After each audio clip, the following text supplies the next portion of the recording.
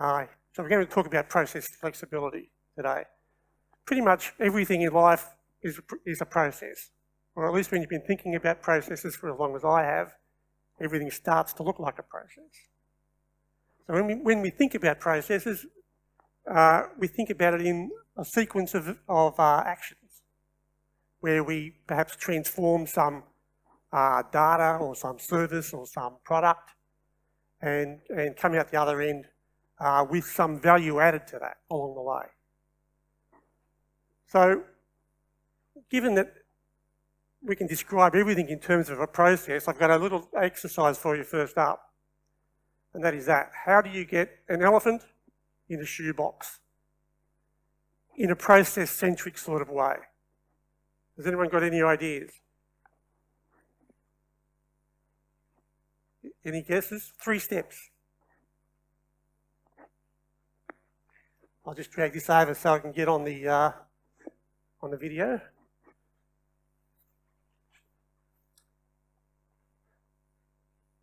In, in, anybody? Okay. Three steps. Step one, take the lid off the box. Step two, push the, push the, the elephant as hard as you can inside the box. Step three, put the lid back on the box.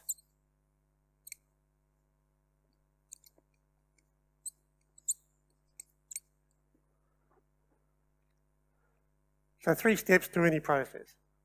I mean, to this particular process. As I said, when we, when we think about processes, we're thinking about um, things in a sort of an assembly line. An assembly line is a natural way to think about how a process is run. Uh, in fact, the Workflow Management um, Coalition in 2002, in the introduction of workflow document, said much work, even office procedures, can be processed as an assembly line. So what is it about assembly lines that uh, are a good fit for processes? Um,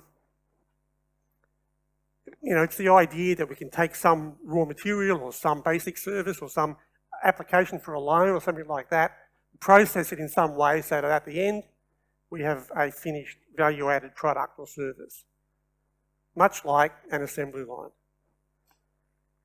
But an assembly line is not necessarily the best way to think about how work is done. When, when we try and capture something that happens in the real world and get it into a, com a computerized form, you know, in, in a program perhaps, or in a, in a workflow process, then we're losing some information from the, the real world. It, whatever modelling tool we use, whatever way we choose to describe a process in the real world, we lose some information because no, no modelling technique is perfect in capturing all necessary information. Indeed, the way that our programming is done follows the same sort of, same sort of model. You have inputs, you process those inputs, and you have outputs. So technology doesn't occur in isolation. Uh, ideas from one area flow into the next. So the idea of an assembly line um, flowed into the idea or the way of thinking about computing. So Turing's um, universal machine, the von Neumann architecture of, com of, computing, all sort of follow this assembly line uh, metaphor. So assembly lines are fantastic if you're building cars very efficient, uh, time saving, get the job done in the best possible way. And a lot of business processes too are, are can follow the assembly line uh, metaphor because they run uh, very rigid sort of uh, processes that don't change much through each iteration of that process. But real world being what it is, there are a whole bunch of processes that don't fit well into that assembly line metaphor. Because there are, there are various ways in which people work to get the job done. And it's very hard to fit that sort of work in, a, in an, assembly line format. So, As I just mentioned, processing, unless it's a very rigid process, we have problems representing real-world activities. On the one hand, you try and make it understandable so that people can look at that model and understand the work that's occurring. But on the other hand, particularly if you want to execute it in some sort of uh, business processing system, uh, it needs to have all of the information that it needs, uh, that it requires to be able to successfully run that uh, process. So the more, the more comprehensive a process model is, um, the harder it becomes to understand, particularly if it's a very big model. So for example, this is a very, a very simple model here, but you can see there are quite a number of different places where decisions are made.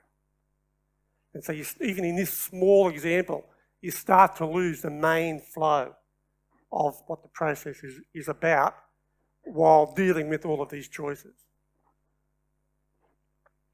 Work practices evolve, so they change over time, sometimes quite quickly. You know, organisations are always looking at their competition to see how they're doing things and, and um, maybe changing up the way they do things as well to match their competitors. Or they are seeking new efficiencies, or they figure out a better way of doing something, or a cheaper way of doing something. And so practices evolve. There's a lot of difficulty evolving processes to match the way that work practices evolve over time. Um, particularly when you start to think about, well, if I've got a version of a process running, uh, and we need to change it in some way, so we've got a new version of the process now, what do we do with the cases that are running on the old process model? Do we migrate them to the new model? Do we wind them back? Do we start all over again? Do we let them run on the old, on the old uh, more in, inefficient model? And so on. So all sorts of problems there.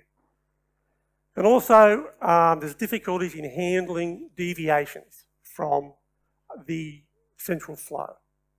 So you can see here we've handled deviations from the central flow by uh, putting in some uh, splits and joins uh, where decisions might be made. But anything more complex than that, things start to get very difficult indeed, particularly in large models. Okay. So what's, what's an exception or a deviation? Uh, it's well known in the research, widely researched, the fact that any instance of any process there will be some deviations during the running of that process. Deviations meaning um, ways in which the main flow is not, not, not followed. So in almost every, in almost every instance, there'll be some, uh, something that happens, some event, some data inside the process, some external event outside of the process that changes the way that that process is handled or, or is executed. So there's two types at the control flow perspective. One is ex um, expected. Um, deviations or expected exceptions. They are things that you knew might happen, but you didn't want to clog up the process model with those things because they don't happen often enough to warrant their inclusion in the process model. Or they are, are unexpected exceptions, which simply means they're things you didn't think about that could possibly happen. An, an event or, or some data being outside of a range that you never, as a designer, you didn't think about happening at that time. And so that just points to, uh, well, traditionally it points to an inadequacy in the model. In other words, the model is less, less than perfect in some way. And so traditionally you would, you would update the, the model to capture those things if they happen often enough. Otherwise you would just wear it, or you would just deal with an exception when it occurred. And the way they were dealt with is typically off the system. So when they're dealt, when they're dealt with off the system, uh, for one thing, it slows the whole process down. Things become manual, so you're losing the benefits of running a, a process in the first place. Uh, but also the way in which it was resolved is lost to the organisation because it's done, man, done manually and not um, you know, not, not, not recorded anywhere, not logged anywhere. So the next time the same thing happens again, uh, someone has to think up a way of handling that again because it's not recorded. So these are problems with exceptions or deviations in, in the traditional sense. Oh, by the way, unknown, sorry, unexpected exceptions sounds like unknown unknowns. They're things you don't know that you didn't know until you find out about them, which sort of echoes what Donald Rumsfeld said. Okay. So, when we talk about flexibility, what are we talking about? Def here's a definition. The idea of process flexibility, or the term flexibility in business processes, is the degree to which a system is able to support or handle, or sorry, or handle expected or unexpected deviations. Okay, so it's the degree to which we can handle deviations or exceptions, whether they're expected or unexpected, um, without damaging the essence of the process and allowing the process to uh, potentially complete as expected. Okay, so when we talk about flexibility, we're talking about how to deal with these sorts of deviations. Okay. So there's four deviations or exceptions. Sorry, sorry. Flexibility can be categorized into four different categories. Uh, by design, we saw an example of that on an earlier slide where you put a split in a process where you want a decision to be made. So that adds flexibility at that point because maybe it'll go this way, maybe it'll go that way, depending on the data and the condition on the split. So that's called by, by design. That's the easiest way to add flexibility to a process. And most, if not all, workflow systems support that type of flexibility. Um, then there's by deviation, which means you've got a process model, but at runtime, uh, users or administrators can choose to deviate the path, so miss, miss one or roll back and do one again. In other words, change the, change the control flow. So systems like case handling systems uh, or declarative systems where the task is there with no real control flow or maybe a, a guiding control flow. And users and administrators can choose what order to do those particular activities in, knowing that whatever order they do it in is moving the product towards the goal. So that's by deviation. The, the, the um, important thing about deviation is the, the original model doesn't change. It never changes. Third category is under specification, and that means that um, the uh, process model at design time is, in, is left in, incomplete. So you'll have things like little placeholder tasks, where at runtime you can plug in or, or add uh, certain tasks or activities there. Uh, two types, uh, late, late modeling, which means you allow the user to create a, a, a, part of a process model at runtime to plug into that, that place. And the other one is late binding, where you have a set of possible um, additions at that point already made, and you can bind that at runtime in the appropriate place. So that's under specification. Or um, the last one is by change. And there's a whole uh, side, um, a side project, if you like, or side projects of workflow that allow you or allow an administrator to change the actual process model while it's running. So you can take tasks out, you can put tasks in, you can uh, change the control flow, and that becomes a changed process model the next time again, running in, the change in particular runs into all those problems of what do, what, do, what do we do with different versions, how are they logged, when do we swap in and out uh, current instances and all that sort of thing. Okay, so they're the, they're the four, they're the four, uh, category, they're four categories. YAWL um, supports flexibility out of the box by design, same as almost all, if not all, uh, workflow products. So it allows you to do branching, um, choice, iteration, splits, so XOR splits and OR splits uh, where choices are made, Uh, you can have deferred choices with conditions. Um, and even in parallel branches is a form of flexibility because you don't, uh, you're not controlling. Uh, say you've got a, a, an AND join, sorry, an AND split with task A and B, you're not controlling which one ends first, which, which, which one started first. All you're saying is you're not going to continue until both A and B are complete. So that's a form of uh, flexibility by design also.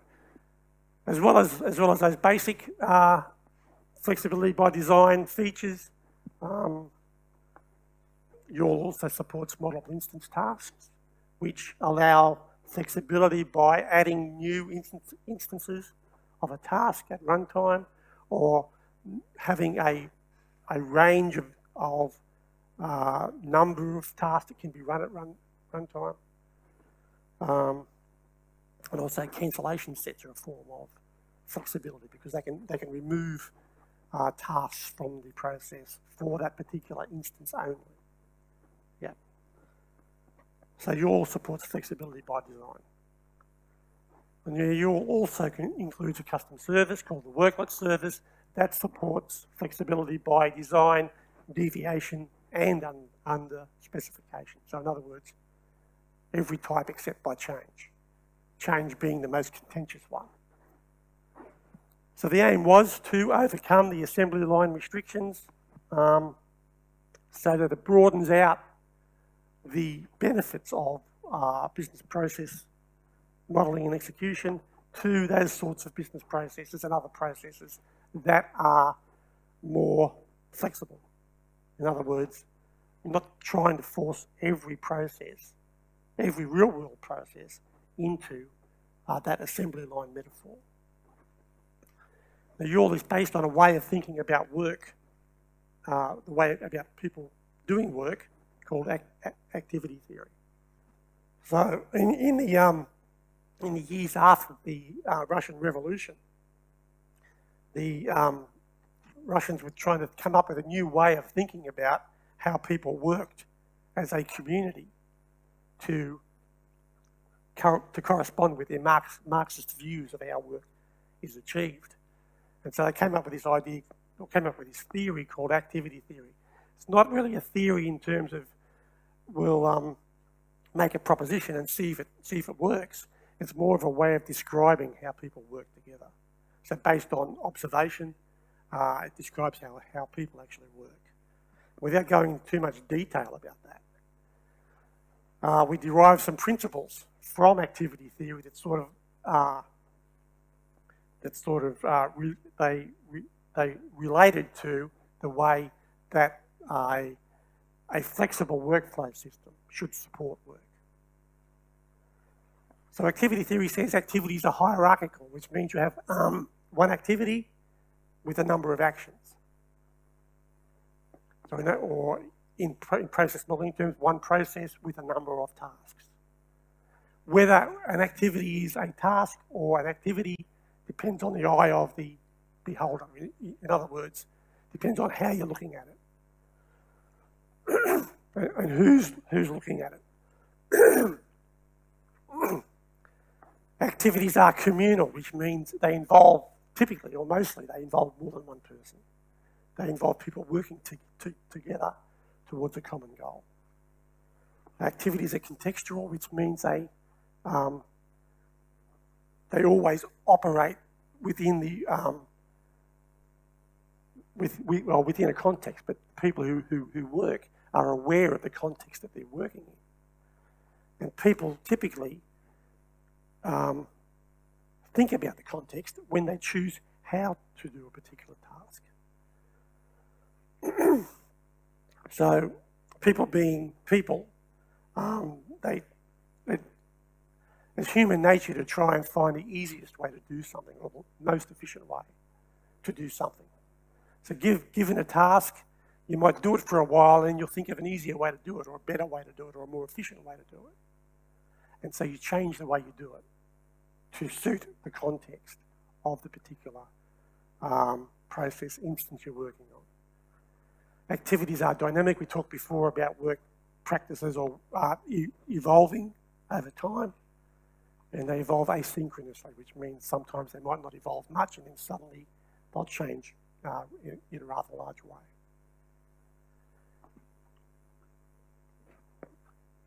So when we're thinking about uh, the context of a particular process instance, uh, then the actions or the tasks, uh, the way we carry out that work, uh, is chosen with a, with, a, with a view to the context, as, as I just said.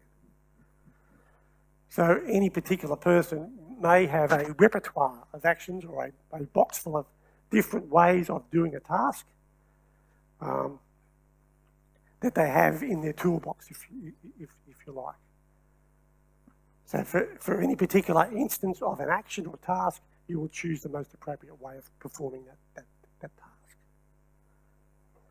Um, for example, I followed a process to get here to, today, and I'm, and I'm, sure all of you also followed a particular process to get here, here, to, here today. Um, some of those processes will be similar to each other in some respects and different to each other in other respects. One way is the mode of transport that we got here. Some people might have driven, caught a tram or a train or a bus, walked, and so on. Um, if you usually drive and you got up, went to the car, and the car wouldn't start, then you'll fall back to plan B whatever plan B might be. The way you decide on what plan B is, is by considering the, the, the context of the situation. Okay? If you were coming in to do an exam, then you would do anything, almost anything, to try and get in here. If you were just coming to a, bore, a boring class and it's, it's, cold and wet outside, you might turn around and go, and go back to bed. It depends on the context. If, if you've got a bike and it's not too cold, then you might ride the bike. So you can see all of those decisions are sort of if, if statements. If the, if the context is right, then I'll take this, this course of action to be able to, uh, to perform that, that task. And that's typically how people work. Plans guide work, so rather than a process model being a prescription that must be, be, be, be followed in every instance, it's just a sort of a guide to get to a goal. You know, you know you have, you have to get here, um, get here. The car's broken down, then you'll think of some other way, of, some other way of getting here. You don't have to really consider that until such time as you find the car is broken down.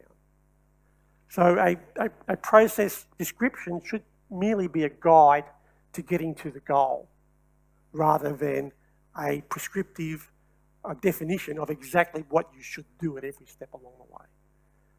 And if, we, are following the assembly line metaphor, then um, you can see that um, a plan is very prescriptive in that, in, that, um, in that scenario. The last point I want to say about activity theory is exceptions have great value. Activity theory says whenever something happens you didn't expect, then that is a good thing because that leads to a, lear a learning experience. You'll learn something more about the process. If you find your car's broken down, then that, in, you know, when you think about it next, next week, was a good thing because it forced you to think of some other way of handling that, that, that situation. And the way you thought about how to handle that goes into the back of your mind and it's there next time so you don't have to expend so much effort next time that happens. You'll say, well, that worked last time, so it'll work again this, this, this time. So exceptions are, have great value because they are learning uh, a, a learning experience. Okay, so based on all of that, the worklet service in YAWL uh, tries to follow uh, those principles. So it sort of, it sort of uh, makes the assembly line format of a process model more, more flexible so that we can um, get to our goal, but choices will be made along the way that we don't really have to think about it at, at design time that will get us to our goal based on the context. And it does that by providing a repertoire of available actions uh, to, for, a, for particular tasks that are at design time delegated to the, the worklet service. So you can have a number of different actions. Depending on the context of the instance, the correct action will be chosen to handle that particular work at that particular time. And so those choices are made dy dynamically. So you don't have to have a user or an administrator watching over every single process. Um, it will use a set of rules to determine what the most appropriate um, action is. And you can dynamically extend the set of rules so that you can keep, add, keep adding new actions to the repertoire um, at, at, any time, even, even while a process is, is uh, executing. Okay, so a worklet, we talk about a worklet. A worklet is an action in that repertoire of actions. So each action is called a worklet. And a worklet essentially is a YAWL, YAWL process. Typically a small YAWL process, but doesn't have to be. It can be of any size and, com and complexity. It's self-contained process uh, and, and complete. So it's designed to handle one specific action at a particular time in the process based on the context of the case. Um, it's in the repertoire, as I said. It's chosen contextually at runtime by evaluating rules that are associated with that particular uh, task. Um, and so you can think about a worklet as a dynamically substituted sub-process for a placeholder in a process. A task being a, a uh, the, the, placeholder that calls the, the worklet service uh, for the correct uh, worklet to run in that situation. If the worklet service does not have a particular worklet that suits, uh, it will return the task back to the engine and then it can handle that task as it would, would any other task. Um, so the idea is a particular task is associated with a worklet service and in this case there's five different worklets to choose from. And depending on the context of the case, the correct or the most correct worklet will be chosen from that, uh, rep, that, rep, that repertoire of worklets. Okay. So how do you get a bear into a shoebox? Haven't covered all of that. Any, ideas? No? Same as last time? Not quite. Not quite. So yes, we're still going to take the lid off the box, but there's, a, there's an, an elephant inside the box. So we have to take that out first because everybody knows you can't put an, an, an elephant and a bear in the box at the same time. So take the, the, the, elephant out, then put the bear in, and then put the, put, put the lid back on. So you have, to, you have to consider the context or the state of the process when you, when, when you get, get, get to that point. So, so it's considering the state of the process or the data in the process, the context of that particular case that determines how to deal with uh, particular instances. So we're talking about context. How do we capture context in a computational form? There's two general ways to do it, which we won't go too, into too much detail about, but one is divide and conquer, where you think about the entire universe of, uh, of, uh, of data and context that uh, you will ever cover in a particular process. And then you try and break that down um, and describe everything there is to know about that particular context. Usually it's impossible to achieve because you can't think of everything, but also it's not really necessary because most or a lot of context isn't required to make, make decisions, to make intelligent decisions. It also depends heavily on the ability of experts to be able to explain uh, what they do when they, when they do their work. And the, it's, it's been found that the more expert somebody is, the harder it is for them to explain how they, how they perform their work. So if you're a very highly skilled heart surgeon, for, for example, it's very hard to get that surgeon to be able to specify exactly what he, he does when uh, you know, when he's, op when, he's op when he's operating on somebody. There's stories stories about um, fire chiefs at fire sites who just get a feeling that something's going to happen, get everybody out of the fire before the roof falls in or something like that because he's got that much experience. He, he, he knows uh, that something feels wrong, but he can't explain why something feels wrong. So it's very hard when you ask an expert, how do you do this, how do you do that? I find it very, very hard to explain. And that's one reason why a divide and conquer approach is difficult. A compose and conquer approach, on the other hand, is where you start off very simple, start off from the bottom, start local, and build your knowledge base up from very simple facts. Each time you uh, work with a fact that doesn't quite meet the current need or the current, uh, con current context, then you add a refinement of that fact. In doing so over, over time, you build up a, a knowledge base from, from very simple facts to more refined facts. And in fact, that's the way the worklet service works, um, through the use of so-called ripple-down rules. Now, ripple-down rules are a hierarchical set of rules in a tree structure. They're a, a, a sort of a, a, binary tree and, uh, that's been modified slightly.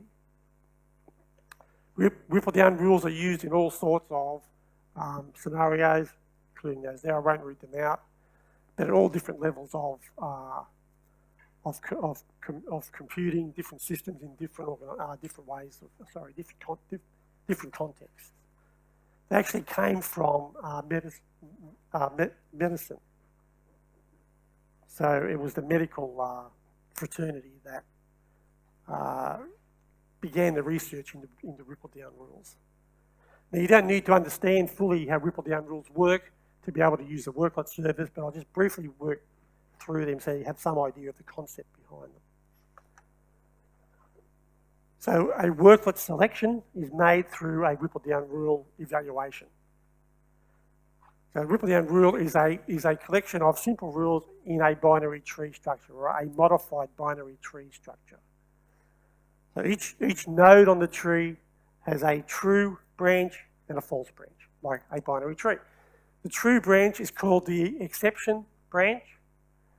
The false branch is called the OR branch. There is a root node that just has a default uh, true as a condition. And so um, that branch is, so the true branch is always followed from there. If, so, so I'll go back one step.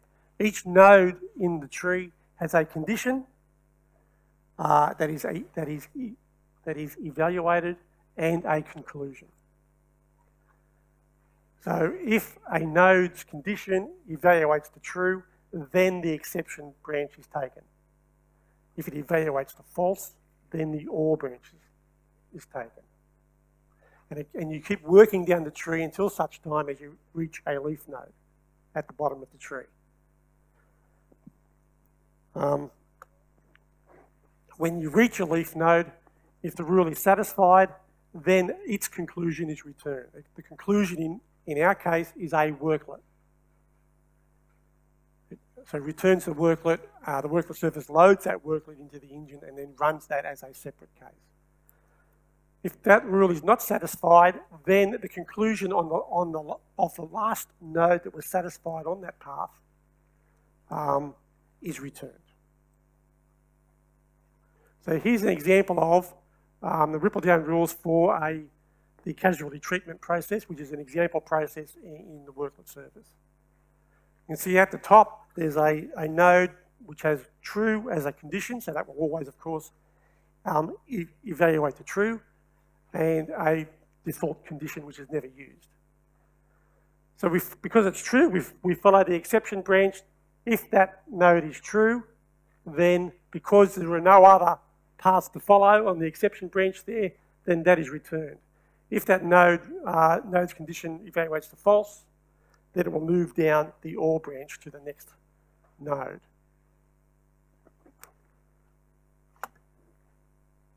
Now, importantly, um, this allows you to add, to add new rules because you might have a rule return, sorry, a, a conclusion returned that meets the context of the case uh, based on previous runs of the case, but is not exactly the best way of handling the current situation because of other contextual factors in the case. So in that, in that instance, we have to add a new rule. And the way a, rule is, at, is added is if the terminal node that it reached through the path of the tree, if that rule was satisfied, then it is added as an exception branch to that tree. It's called an exception branch because it, it means this, this new rule is a refinement of the more general rule above it, the more general parent rule. Um, if the conclusion returned was not the leaf node, in other words, we went back up the tree because this one was not satisfied, then it gets added as an OR, as an OR node there. And that's the way the rules are added, um, which we can demonstrate using this example. So every, every um, RDR tree has a root node, as I said, with a true condition. So we'll always evaluate the true. So here we're starting off with a very general uh, rule base with one rule in it, basically. The condition is if, if it's a bird, uh, and the conclusion is it will fly. It's a very general rule. In most cases, if, it's a, you know, if we see a bird, we can assume that it can fly. So that we're running our system for a while and everything's hunky-dory, everything's working well. And then we get a, a new case, which is uh, a penguin. Now, a penguin is a particular type of bird. And a penguin can't fly. So our, our rule base, we get, a, we get a case where we have pen, penguins. Our rule base will say, well, that's a bird, so it can fly, and it will return can fly. So an administrator or user will say, well, hang on a minute, penguins can't fly. So we have to add a new rule as an exception to the more general birds can fly. So that goes there as an exception because the terminal node was, success, was successfully evaluated. So now we've got another node in the tree. Birds can fly unless they're penguins, in which case they can't fly. And everything runs well until we get a new case of a cat. So uh, is it a bird? No. So this, so this tree is no longer followed because that does not evaluate the true. Um, the default condition is returned from the root node, which means um, there's no suitable conclusion for the concept of the cat in our rule tree. So because of that, that cat is added as an OR branch off, off the bird node. Is it a bird? No. Is it a cat? Yes. Cats can't fly. So you can see we have two nodes here with the, with the same conclusion. So you can have, you can have two, two or more nodes with the same conclusion, but the conclusions are the same because of different, con different contexts. And all's well again till we get a plane. Is it a bird? No, so it follows the fourth branch. Is it a cat? No. It's a plane. So that gets added under the cat. And, and the conclusion again is it, it, it can fly. And we get a baby bird. Is it a bird? Yes. So it will follow this path. Is it a penguin? No. So that goes under there. Baby birds can't fly. They are a bird, but they're not a, not a penguin. Finally, we get a, get a very strange case. If we have a penguin who can fly because he can get into a plane, then is a bird? Yes. Is it, is it a penguin? Yes. But this particular penguin can fly. So he gets added there. So you can see every, every branch on, on this path is a more refined exception of its, its parent node. And over time, if you can think about a business process, over time, you can get quite large uh, rule trees that make the selection, the correct selection, more precise. Okay.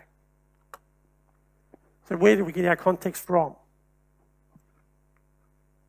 Um, we can get it from the data of the, of the task, so the work item. We can get it from the case level data. We can get it from the process state. So what, which tasks are, are complete, which tasks are active, how long tasks have been running for, any, you know, anything you can get from process state can be used. External sources, uh, process logs, so previous runs of this instance, um, his, historical data, external databases, other services. For example, there's another service called the cost service, which calculates how much a particular instance is costing the, the organisation. You can use that data to, to choose the appropriate worklet. Uh, and also any, uh, any user-defined functions and, uh, and values can also be used. So there's a wide variety of sources uh, of, of data that you can use to make those contextual um, decisions via the RDR tree. So, how suitable is RDR for worklets? They, are very, they're very suitable because they allow that hierarchy of rules from more general to more specific. Um, they're local, they, they capture local data. You don't need a knowledge expert to create the rules. The rule creation doesn't happen until a worker, an end user, notices that the condition returned, sorry, the conclusion returned, doesn't match exactly the needs of a particular instance. So you don't have to have an expert sitting down saying this is a rule, this is a rule, this is a rule. Rules are only defined when the return conclusion aren't, aren't precise enough. Um, and the rule set can evolve over time and add more precise choices to the repertoire of worklets. Okay, so that's the worklet service. Now, thinking about the way that makes um, processes more flexible allows us to also think about how we can use that um, type of service to handle exceptions. So exceptions are a, particularly, a particular subset of the wider flexibility um, issue or problem. And so the worklet service idea of ripple down rules and, and making appropriate selections based on context uh, can be extended to the handling of exceptions. Exceptions, as I said, exceptions occur or deviations occur when the process model either accidentally or deliberately has some choice, choices left out of it. So the exception service is part of the worklet service.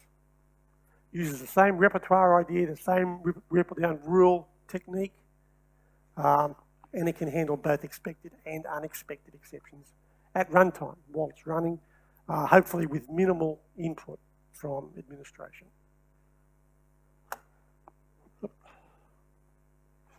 Um, so for a, for a particular specification, as well as having a, a, set of selection rules for a task, as we've just seen, it can also have a different rule tree for each of up to 10 different exception types.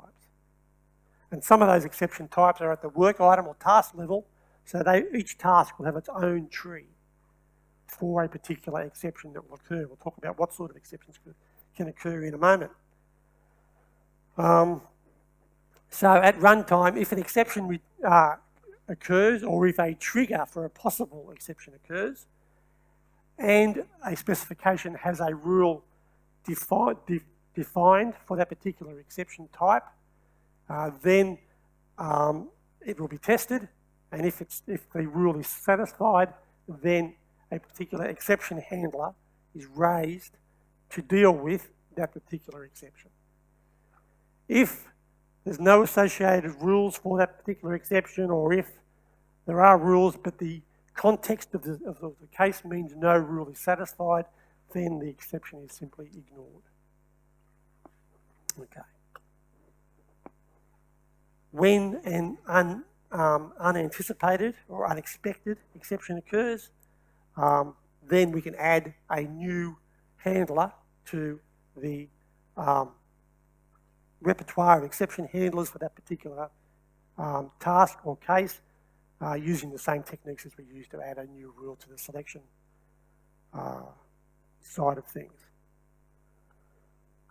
Okay, so if you look at the middle table first, um, these are the exceptional events that can occur during the life of the process that the exception service can handle.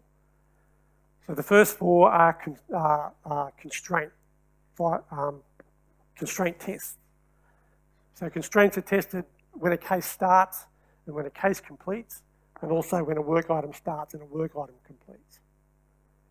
What that means is the data in the case at start and end, or the data in the work item when it starts and when it completes, is sent to the exception service, and that data is run against the rules uh, that are against those constraint uh, exception rule sets.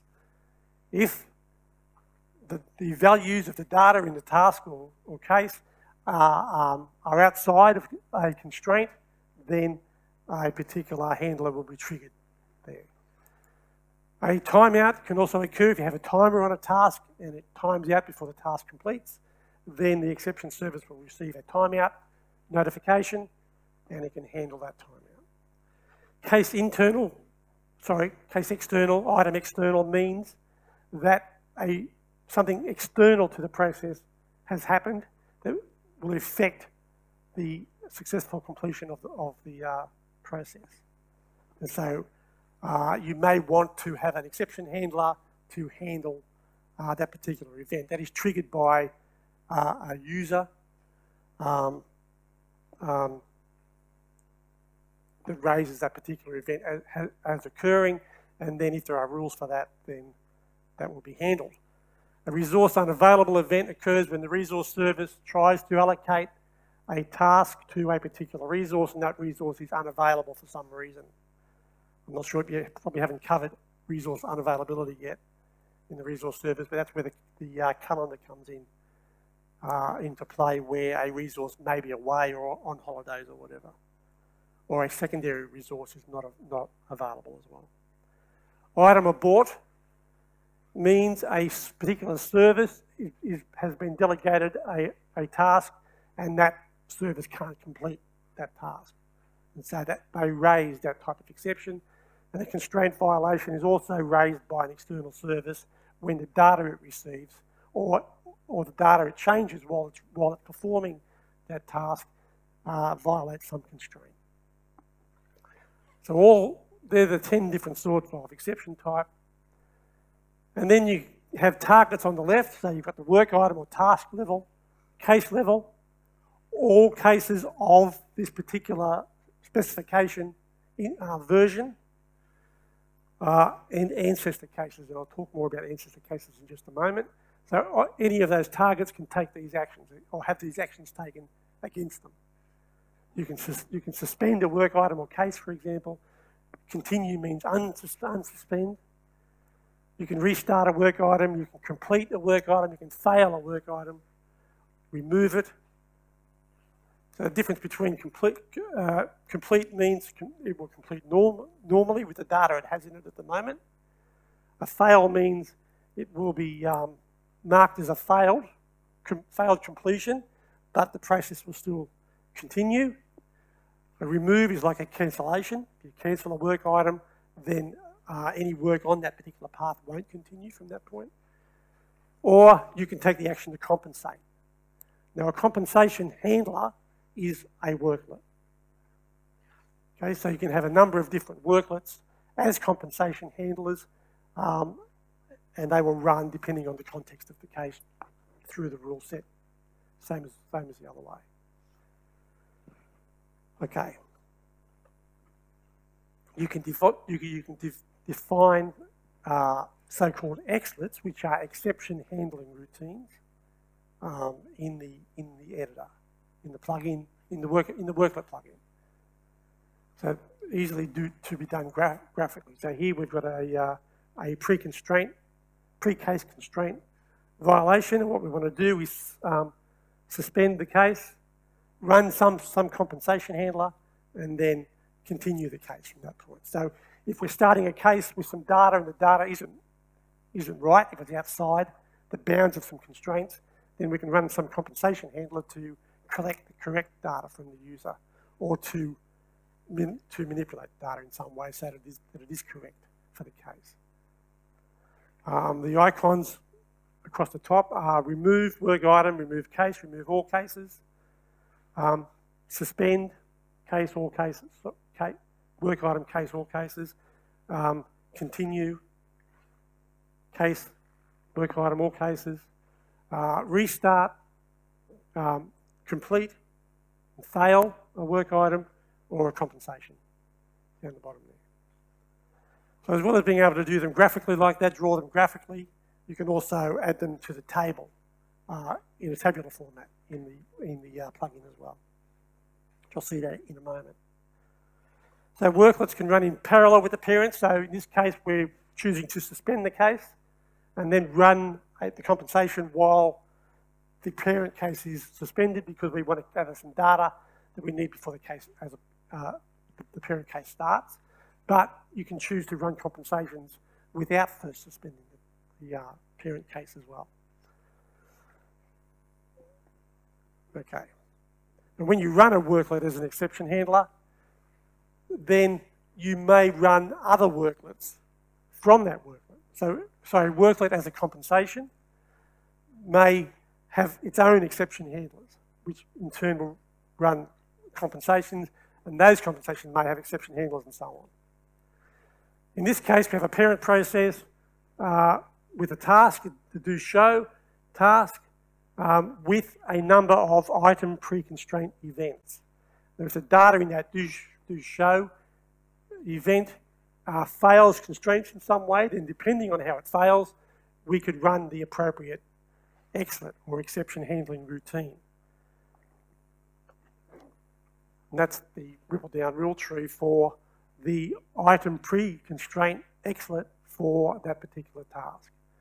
So depending on how many tickets are sold, you probably can't read that up there, but depending on how many tickets are sold, we can run a particular worklet to either book a smaller, ven smaller venue or cancel a show or take some other action. So in the compensation there, we run a worklet as, as a compensation handler inside the exlet. And because we can run worklets as, as compensation handlers, and worklets can contain their own exception handlers, then you may have instances where you have a number of worklets running as a parent-child uh, relation. In that case, if you choose to uh, suspend or cancel ancestor cases, it will suspend or cancel all of the worklets from the one you're actually suspending up to its parent, it, its eventual and, uh, top ancestor. So that's what ancestor cases means. Okay, so as I, as I uh, said a moment ago, the editor has a worklet plugin which allows you to um, specify uh, rules to create worklets and save worklets, to, to uh, load worklets into the editor for uh, creation and editing, uh, to load rule sets from outside uh, in files. Uh, it, importantly, there's a, a, way of rejecting and, re and, replacing worklets. So this is the rule substitution that I was talking about. If, if a worklet is returned that doesn't exactly match the context of the case, but it is the correct worklet based on the current rule tree, then we can add a, a new rule um, to a running case, and it will then make the appropriate choice. Um, and this is what it looks like very quickly. So up the top there, we can choose what particular rule type, whether it's an exception type or the selection handling type. We choose a task if it's a task level exception, uh, and then we can uh, create a condition there. So this is the, this is the condition we want to evaluate the true so that this um, exlet is run. Here you can see the exlet in tabular form, format. So the exlet in this case is we're suspending the case, then we're running the compensation handler called um, change to smaller venue, and then after that's finished running, we can then continue the case. Um, we can also describe that in the graphical e editor by clicking on the little uh, boxes button there. Uh, importantly, this is the cornerstone data. In other words, the data that was required or that was, uh, that was there when the um, rule was created. And importantly, this data uh, has to evaluate to true from that condition. In other words, uh, other way around, the condition must evaluate to true based on the data that's in, in this table. And that is because the service uses that data to find the rule that was returned that was not the most correct rule so that it knows where to plug this one into. So you don't have to think about where in the tree this rule goes. The system will work out where it goes based on the value in that data. So that's adding a new rule. Usually, when you start a new rule set, as we saw in our example, we started with one rule, and that is the ideal way to do it. Start with one rule, and then gradually build up with experience over, over time. But uh, in practical terms, you may have a, you know, a handful of rules that you add to, to begin with. This is browsing a rule set. This is, you can see in the, in the green box, it's the same as it was on the previous screen when we added a rule. So you can see there um, the rule type, the task, the condition, its conclusion, in other words, it's exlet, and the data that was av available uh, for this rule to make that particular condition true. You can see on the left-hand side is a, a uh, diagram of the rule tree. And so you can choose rules there to, to see what is inside each rule node. And down the bottom here, it will show you the composite rule. So in other words, we, we, we're not, in our previous example, we weren't saying if it's a bird and not, and not, a, not a penguin and a baby bird, we don't have to, we don't have to build those, um, uh, we don't have to join rules together because the rules are evaluated step, stepwise as it goes down the tree. So this just builds uh, a, um, another way of thinking about that particular rule. So by working down the tree, we say if tickets sold at uh, a certain value, then run a particular exlet. Except if the tickets are less than, in other words, following the exception path, except if that the value is even less, then run some other uh, worklet as exception handler, or sorry, run on some other exlet, except if again, um, some other condition, then some other exlet.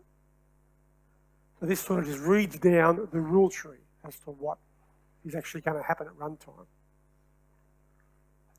So it's a good way of understanding how the tree ev um, evaluates. And this important this is the important part. This is where you replace a currently running worklet with a new one.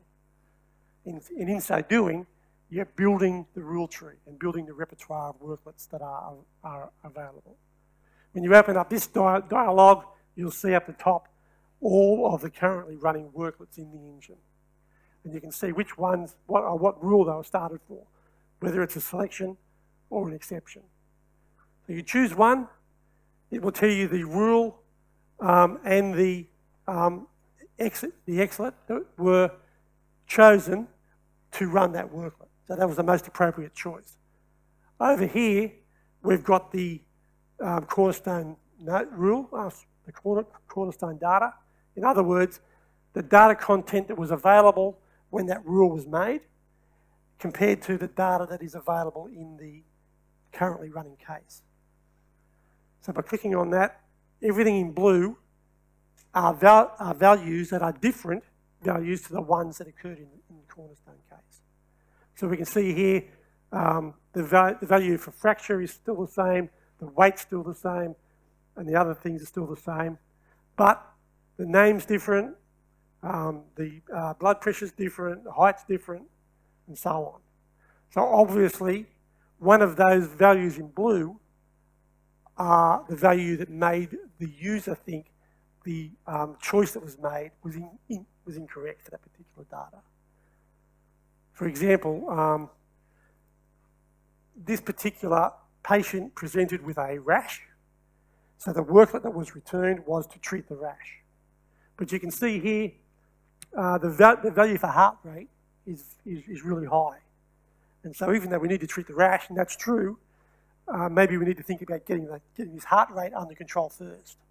So the heart rate is what causes us to need to create a new rule. Uh, the, and, the, and the rule will be, when we type it in there, heart rate greater than 150 or something like that and a new worklet, say to treat heart, treat heart rate. And, and then that will add the new rule to the rule set, add, add the worklet to the repertoire, and replace that worklet in the engine with the new worklet, all on the fly. And, and importantly, that new rule will be there every time a similar case occurs in, in the future. So you won't have to do it every single time someone presents with a high heart rate, because it's already there. Okay, well that, that, that was a very brief overview of the, uh, of the uh, worklet plugin to the YAWL editor.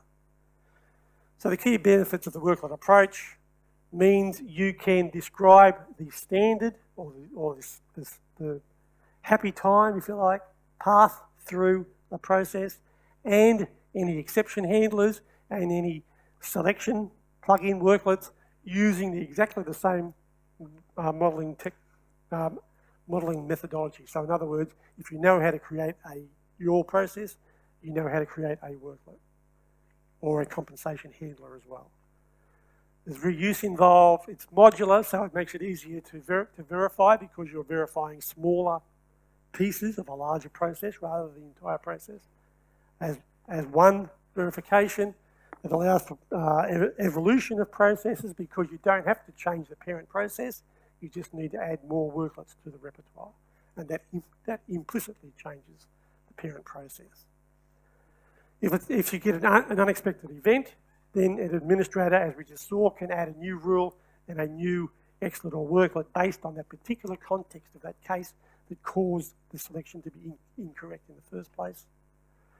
And all of those uh, complexities as to downtime and migration and different versions and, re and restructuring models are avoided. Okay, and that's, uh, that's the end of the talk. Any, any questions? Thank you very much. Um, I would have a question. Okay. So, so um, yeah, looking at this example, example workflow, so you have this, this loop yes. back there. Um, is that um, is that something that you? I mean, you could also do that with a worklet instead of having an explicit you can absolutely do that as a worklet. So in very simple cases, you've got choice between a control flow split and join, or you can replace that with a worklet if you like. Either way is uh, effectively the same, except that if you think of new ways of handling this loop, then you can let the worklet uh, repertoire grow over, over time. If you think of new ways of handling this loop via, via a split in the control flow, then you have to change the, change the, the entire process. So, so um, the advantage would be that the, the, process looks nicer if I don't show the loop. Yeah. But the disadvantage is, of course, I don't see anything. Oh, that's, that's right. And, and the ability to visualize what's going on behind, behind that worklet-enabled task is a problem for another project. so, okay. So, um, would you advise um, starting um, with a very simple uh, uh, model and then let everything happen while the, the, the, workflow is running? It depends on what you're designing the process for. If it's for understandability, if, you, if you're designing a process that you want to show to people and say this is how the process works, then you don't really want to hide that much from you know, your, your, your managers and your business consultants and that sort of thing. But over time, if you want to, if you want your process model to capture the essence of what it's supposed to do, and use worklets as a more exceptional behaviour, uh, then that would be the way to go with those. Yeah.